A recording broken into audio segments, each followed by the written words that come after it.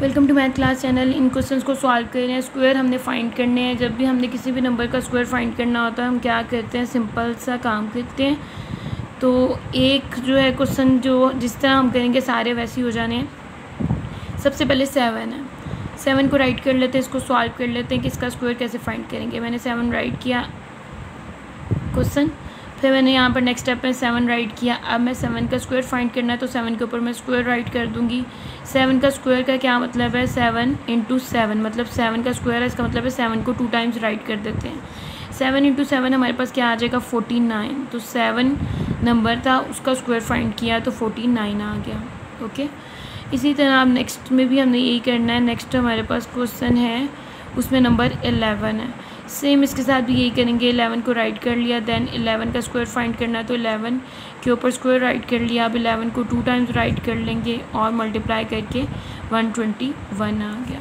इसी तरह यहाँ पर हमारे पास है नाइनटीन नंबर इसका स्क्वायर फाइंड करना है तो इसके लिए भी वही करेंगे नाइनटीन राइट करेंगे नेक्स्ट स्टेप में नाइनटीन का, हमारे पास यहाँ पर स्क्वायर आ गया देन नाइनटीन इंटू नाइनटीन आ गया नाइनटीन को टू टाइम्स राइट कर लिया और जैसे अगर हमारे पास यहाँ पर थ्री हो ना क्यूब हो क्यूब फाइंड करना हो तो थ्री होता है, फिर इसका मतलब है नाइनटीन को थ्री टाइम्स राइट करना इसी तरह हमारे पास नंबर की जितनी भी पावर होती है, इसका मतलब है उसको उतने टाइम राइट करके आपने सॉल्व कर लेना होता है। तो नाइनटीन इंटू नाइनटीन होता है थ्री सिक्सटी वन तो यहाँ पर राइट कर लेते हैं three hundred sixty one next three के हो गए क्वेश्चन फोर्थ में हमारे पास क्या है? फोर्थ में ये है कि नंबर ट्वेंटी फाइव है।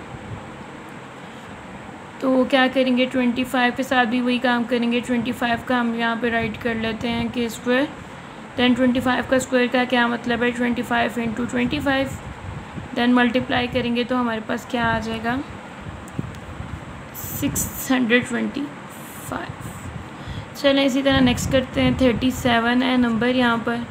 और thirty seven then thirty seven का square then thirty seven two time और ये मल्टीप्लाई करके देखते हैं हमारे पास क्या आता है।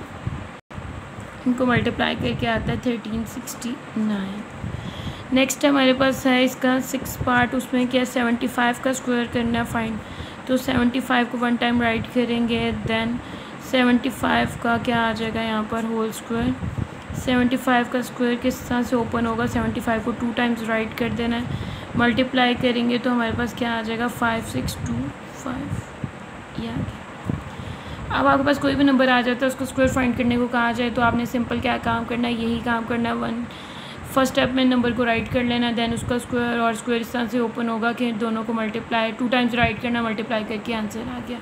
होप सो अच्छे से समझ आ गया होगा। वीडियो अच्छे लगे तो वीडियो को लाइक करें, चैनल को सब्सक्राइब करें। Thanks for watching this video take